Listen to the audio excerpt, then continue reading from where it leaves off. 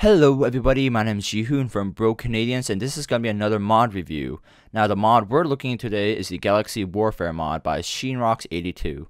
Now this mod is very expansive and there's lots of things to talk about, but thankfully you only have to learn the basic principles to get going with a mod.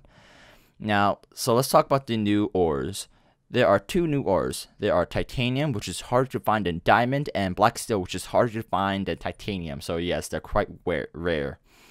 Um, to mine these these um, ores, there's two ways. One way is to mine titanium with a diamond pickaxe to get a titanium lump, which can be smelted into titanium ingots. Uh, these ingots can be used to make titanium shovels, axe, or pickaxes, which, you know, if they're more rare to find than diamonds, then they're probably better. And these titanium tools can be used to mine black steel, and when you mine them, you get black steel lumps that can be smelted into ingots, which cannot be crafted into tools.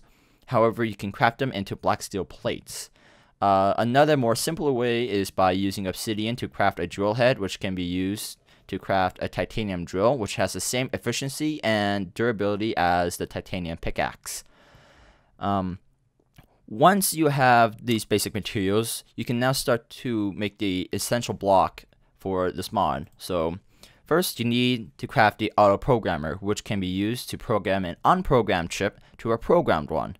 Once you have a programmed chip, you can start to make weapons after you harness electric current in a glass container.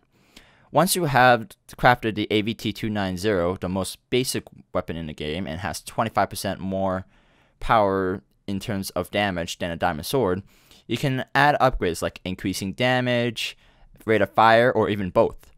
Um, these upgrades require extra time and resources like the recorder, which can turn a program chip into a recorded chip, which can be used for three important things to make weapons, to upgrade weapons, and to make energy tanks, which is important later on.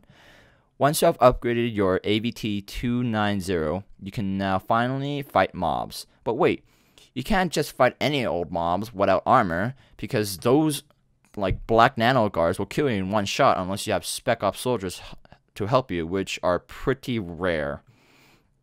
To make soldier armor is pretty simple. You just use titanium ingots to replace the diamond or iron to make to craft armor, except for the helmet where you put a glass plane in the center. Now, titanium or soldier armor is like a tier higher than diamond, and um, black steel is a tier above um, titanium. So what you want to get for the long run is black steel.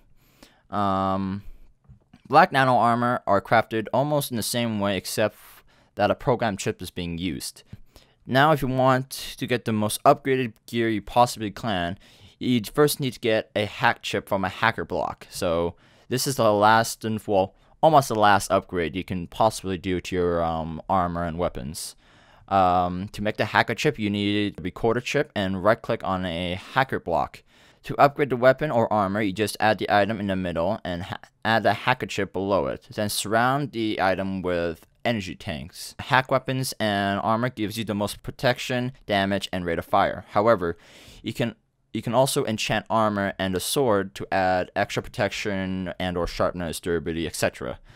This finish off the mod review, and I hope you enjoyed the video and consider you to download the mod. Also, please subscribe, rate, and comment. Bye!